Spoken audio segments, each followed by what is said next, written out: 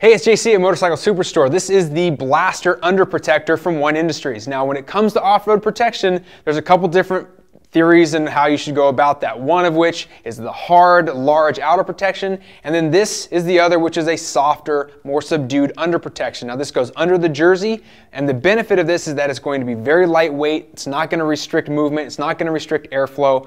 Basically, it's not going to cover up your logos on your jersey either, in case you got sponsors out there that need to get seen. This is going to help with roost. It's not going to help a whole lot with crash protection, but it's definitely going to be great when you're getting a lot of pelt coming off from the bikes in front of you.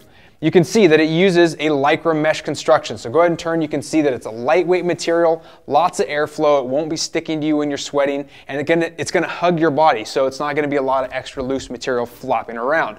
On the front, it has the independent foam impact cells. Now, these are tons of different little cells. Now, each one of these pieces of foam is gonna allow for a bit of movement. It's gonna flex. When you bend, it will bend. Now, that's opposed to, say, one large panel or two or three large panels, which would be a little bit bulkier and inhibit that movement. So, this is really gonna be great for uh, protecting against a little bit of light impact. Also, maybe go over the bars and catch a handlebar in the stomach. It'll help there as well. So if you're one of those guys who wants just a little bit more than that jersey is going to provide, take a look at this, the Blaster from One Industries. This is a size small, medium, different sizes available. You can check them out online at Motorcycle Superstore. Thanks for watching.